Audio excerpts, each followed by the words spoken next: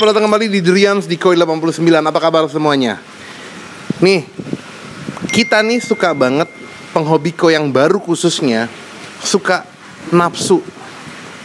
Pengen gedein ikan koinya, pengen bagusin warnanya. Padahal kolam lu baru, ikan lu juga baru. Baru berkurang kecil atau ukuran sedang. Belum besar nih.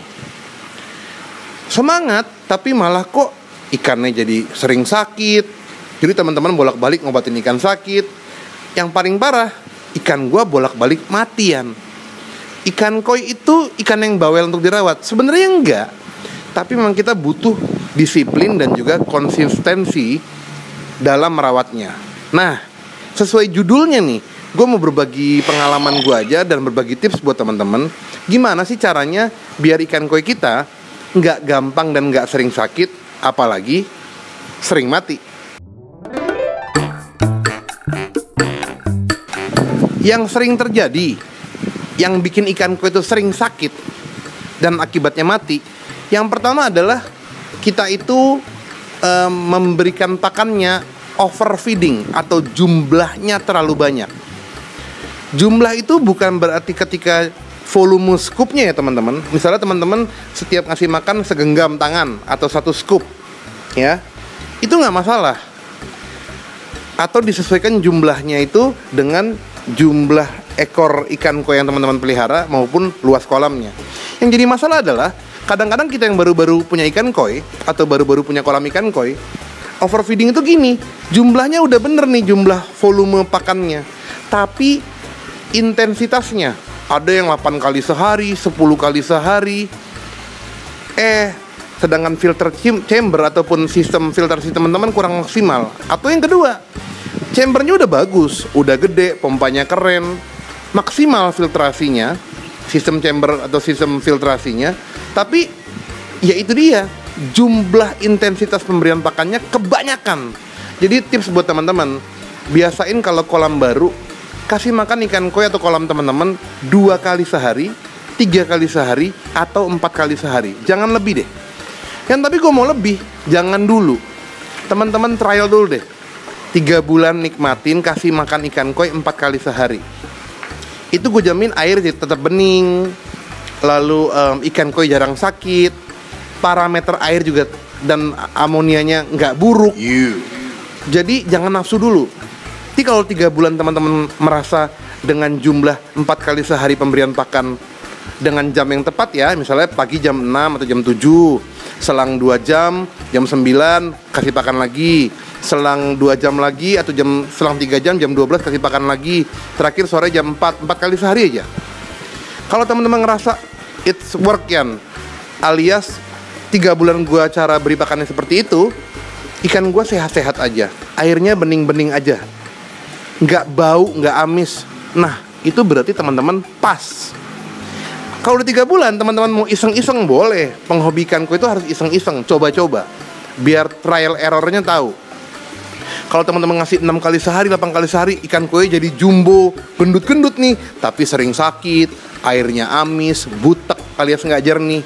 Itu tandanya emang kita overfeeding. Jadi intensitas pemberian pakannya tolong disesuaikan dengan volume air kolam, dengan jumlah ikan koinya, dan juga dengan kekuatan sistem filtrasi dari filter chamber yang teman-teman miliki di kolam koinya. Yang kedua, yang bikin ikan koi sering sakit dan bisa mati adalah kita nggak disiplin water changing. Ingat, Derians melalui Koi 89 ini nggak bosan-bosan selalu apa ya ngasih tips rajin-rajin deh water changing. Water changing itu apa? Buat yang belum tahu, adalah mengurangi air kolam setiap hari sebenarnya 10 sampai dengan 20% lalu diisi air baru. Tujuannya adalah mengurangi amonia, uh, membuang um, ampas atau kotoran yang ada di dasar kolam koi maupun filter chamber itu ngaruh banget. Nah, kalau mau males, setidak-tidaknya tips dari gue 2 sampai tiga hari sekali deh. Boleh kalau malas atau lagi musim kemarau, mau irit-irit air di kol di rumah gitu ya, air tower. Boleh 2 sampai tiga hari sekali uh, tiga hari sekali baru water changing. Tapi kalau teman-teman nanya gue sekali lagi gue setiap hari disiplin, bosen, capek, tapi ya konsisten. Biar ikan gue sehat. Tapi ada tapinya kalau musim kemarau gue tahu diri. Gue juga nggak lebay. Daripada gue water changing tiap hari tapi air gue habis-habisan gue buat mandi juga susah buat keluarga. Gue bikin 2 sampai tiga hari sekali maksimal gue udah ganti air alias water changing. Inget ya water changing itu ganti air cuman mengurangi air cuman maksimal 20% kalau teman-teman mau lebih dikit 30% boleh. Silakan aja lebih bagus kok. Tapi kalau 30% lebih mubazir yang jadi penyakit adalah banyak dari kita nih yang baru-baru atau teman-teman suka nggak disiplin. Ah males. Ah seminggu aja baru go water changing. Nah itu jangan. Seminggu teman-teman gak water changing bayangin. Kolam yang dikasih makan setiap hari ikan koi mengeluarkan kotoran alias feces kebayang nggak? Jadinya air kolam kita yang parameternya jadi buruk. Amonia tinggi banget. Itu nyebabin ikan koi bisa mati sakit. Dan ingat amonia yang tinggi itu silent killer teman-teman alias koinya baik-baik aja air terlihat jernih. Tapi ternyata um, amoninya tinggi tiba-tiba ikan koinya mati aja satu. Kenapa nih ya? Suka misteri kan? Itu bukan misteri sebenarnya. Iya. tapi amonia terlalu tinggi. Membunuh bisa diam-diam ikan koi kita. Silent killer. Berikutnya yang sering membuat ikan koi sakit maupun mati yang terlalu sering di kolam koi kita adalah sering banget kita gonta-ganti pakan. Nah, ini juga penyakit penghobi koi baru. Ada juga sih penghobi koi eh, lama tapi emang iseng orangnya. Jadi saban ada pakan baru nggak gitu bagus sebenarnya. Asal beli aja dikasih. Lagi bokeh beli pakan yang murah banget, kadang pakan lele atau pakan apa dikasih. Lalu ada dikasih temen brandnya nggak jelas, komposisi ingredients pakannya nggak jelas, dikasih. Yang penting irit. Gonta-ganti pakan ikan koi sebenarnya boleh teman-teman. Dan nggak harus mahal pakan ikan koi. Tapi jangan terlalu sering. Kalau emang teman-teman lagi nyobain satu brand, cobain deh minimal satu bulan. Ya, satu bulan mau nyoba brand lain silakan. Tapi jangan seminggu ini pakan ini mereknya, seminggu ini pakan ini mereknya. Kalau pakannya memang premium, import atau lokal yang premium, is oke okay lah ya. Itu pun masih ngebingungin. Tapi kalau pakannya emang standar, biasa-biasa aja, murah meriah, itu membuat ikan koi stres, bingung. Karena nggak semua pakan mereka suka. Dan nggak semua pakan itu berkualitas. Jadi jangan gonta-ganti pakan terlalu sering dalam waktu yang berdekatan. Yang terakhir yang bikin ikan koi sering sakit dan menyebabkan kematian di kolam adalah sering banget nih kita beli ikan koi baru atau sekedar minta dapat dari temen masukin ikan koi baru ke dalam kolam walaupun sudah di karantina karena teman-teman banyaknya ikan koi yang masuk ke kolam seringnya ikan koi baru yang masuk ke kolam itu kalau nggak ikan koi yang baru itu yang sakit membawa penyakit atau ikan koi yang lama di kolam itu jadi stres. Karena ada ngeliat ikan baru jadi turun imunnya jadi sakit juga. Saling menularkan akhirnya sakit semua atau sakit sebagian parah menyebabkan kematian jadi intinya teman-teman kalau lu mau nanya gua kesimpulan dari konten ini gimana caranya membuat ikan koi kita jarang sakit panjang umur? Ini pengalaman gue. Udah deh kalau lu mau main aman kasih pakan ikan koi lu dalam kolam lu tuh sehari empat kali sehari. Kalaupun lu gue mau program gendutin ya oke. At least maksimal lu bikin enam kali sehari.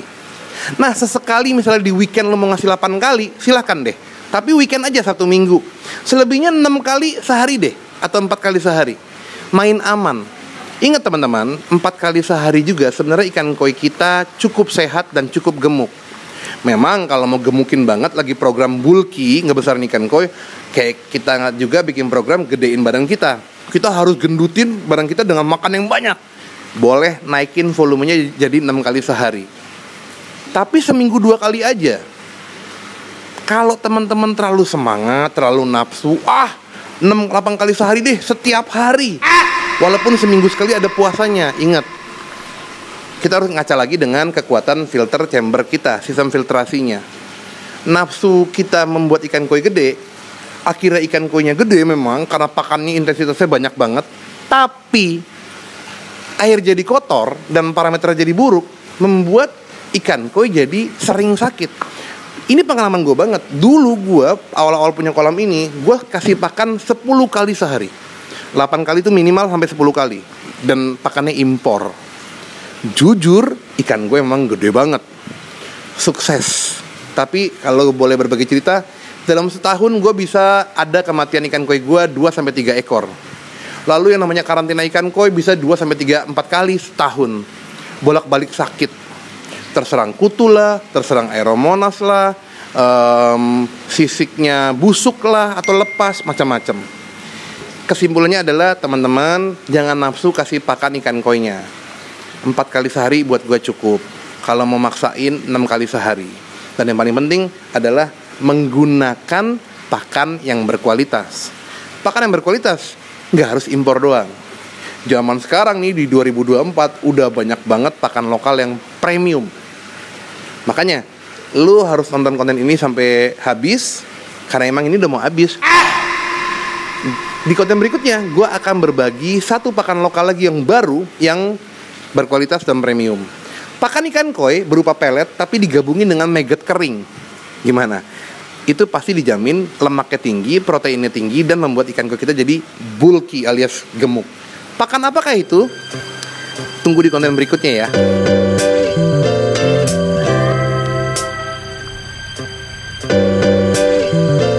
Alright, alright. Thank you John Rindrians di ke 89 Semoga penghobi ikanku di Indonesia dapat terbantu dengan konten ini. Yang nggak ngerti jadi ngerti, yang udah ngerti ya minimal gue cuma sekedar ngingetin. Jangan lupa di subscribe channel ini biar makin sering gue buat kontennya Dan berbagi ilmu soal cara merawat ikan koi dan cara ngebesarinnya Dan cara ngebuat ikan koi jadi sehat. Dan lu fun punya kolam ikan koi di rumah nggak malah bikin stres. Dan salam satu hobi, salam Nishiki Goi, cheers baby. Assalamualaikum. Bye-bye Teman-teman, terima kasih ya sudah nonton Dorians. Jangan lupa subscribe, like, and share ya. Doakan kami bisa naik haji sekeluarga ya. Wassalamualaikum warahmatullahi wabarakatuh.